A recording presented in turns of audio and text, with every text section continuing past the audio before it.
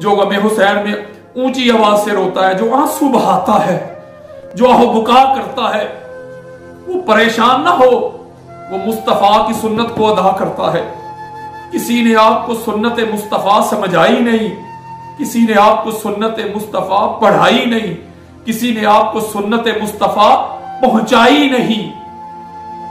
गमे हुसैन में रोना मुस्तफ़ा की सुन्नत है, गमे हुसैन में आँसू बहाना मुस्तफ़ा की सुन्नत